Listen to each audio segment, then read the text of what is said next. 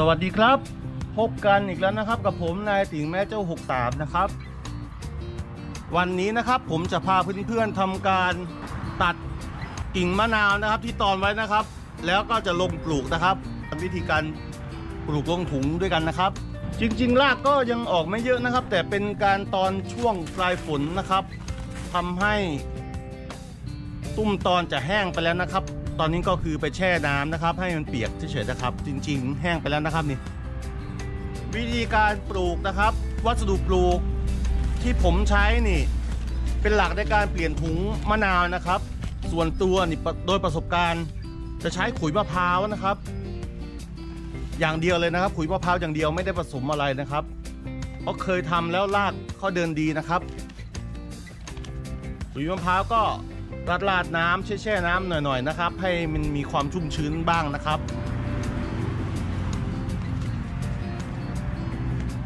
ก็ใส่ลงไปนะครับ ความสูงก็ 3 ใน 4 ของถุงนะครับ กอดลงไปก่อนนะครับ แล้วทีนี้ก็เอาตุ้มตอนนะครับมาลงนะครับ ตุ้มตอนมะนาวนะครับ ขั้นตอนนี้ค่อยๆแกะนะครับ พยายามอย่าให้ตุ้มตอนแตกกระจายนะครับ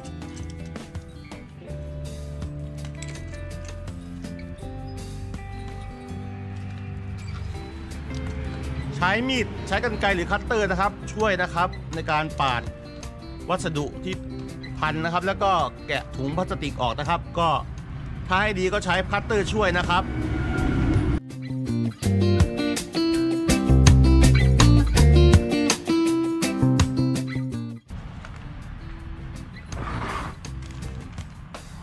ขั้นตอนที่สำคัญขั้นตอนหนึ่งนะครับก็คือการใช้ไม้นะครับ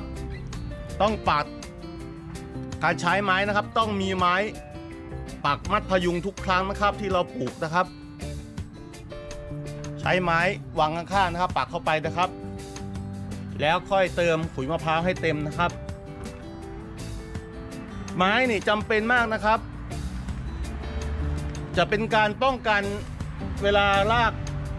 ของมะนาวนะครับ เริ่มเดินนะครับ เริ่มเดินไปสู่เครื่องปลูกวัสดุปลูกใหม่นะครับ ถ้า มีการโดนชนโดนล้ม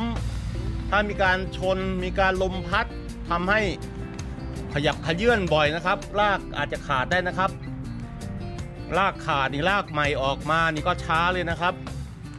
ดังนั้นเวลาเราปลูกนะครับ มีไม้ พยุงมัดไปด้วยเลยนะครับ ทุกครั้งที่ปลูกนะครับ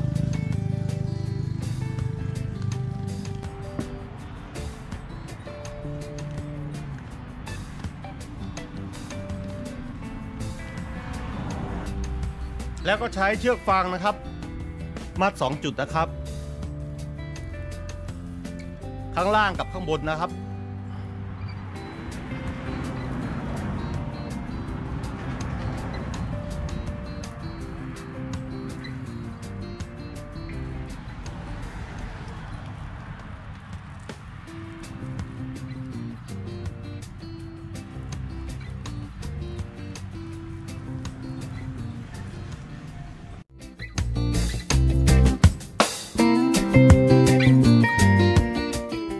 เสร็จแล้วนะครับเราก็ไปตั้งไว้ในร่มลำไรนะครับรดน้ำวันละครั้งนะครับ ทุกวันนะครับ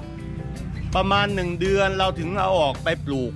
ลงกับพื้นหรือลงกระถางใหญ่นะครับ ถ้าใครต้องการปลูกในกระถางก็ได้นะครับ หรือปลูกหรือปลูกลงพื้นก็ได้เลยนะครับ